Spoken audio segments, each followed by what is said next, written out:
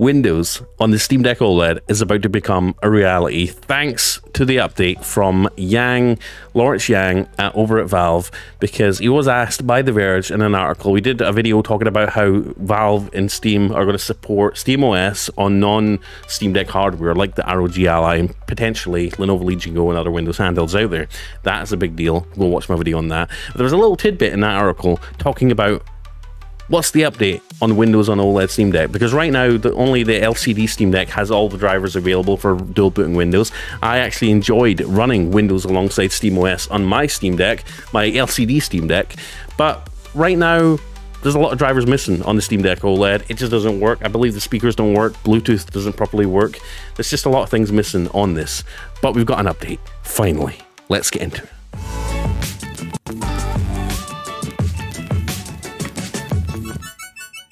Quick shout out to all our members. If You're going to support everything I do on YouTube, the live streams, everything like that. Consider clicking join down below, getting your name on every live stream and every news video like this, and joining these wonderful people here. And we'll hopefully grow the channel bigger, do more things, do better things, and just be better all around, right? But if you don't want to or can't, um, just click like, subscribe, click the bell icon. But if you want to, if you want to support, click join down below and become a member.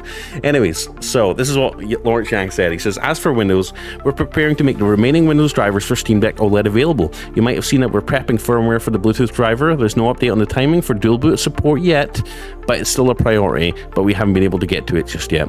So as you know, SteamOS 3 is going to release the general release of SteamOS 3 that can theoretically install on non-handheld PCs as well.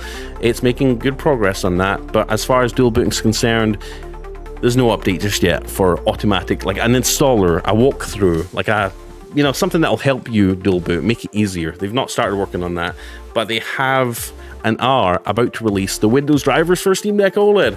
So hopefully we're going to see a lot of YouTubers post tutorials and videos on how to dual boot. I'm not going to be one of them, although I might. Let me know in the comments if you want me to do a tutorial, but hopefully we're going to get dual boot support soon. It shouldn't be too too different to the old method. All we really need is the drivers now, and we should be able to dual boot between SteamOS and Windows.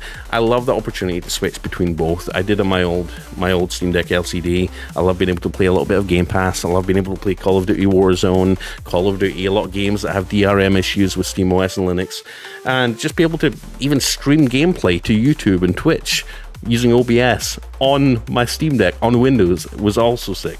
So I'm looking forward to that. Let me know if you're excited. Let me know if you plan on dual booting Windows and SteamOS on your Steam Deck OLED when it comes out, when the drivers are available, or maybe you're already doing it and maybe either finding, you know, modified drivers that work or just doing without the Bluetooth and the speaker issue um, and putting your own headphones in. Let me know if you're already running Windows on your Steam Deck OLED um, because you can, you can just there's not drivers for everything yet, and it doesn't run perfectly. So let me know in the comments either way. Anyways, guys, I'm Blaze2k. Like, subscribe, click the bell icon. A little bite-sized update for you, and I'll see you in the next video. Take care, and consider clicking join and helping grow the community. Anyways, I'll see you. Take care. Love you guys. Bye.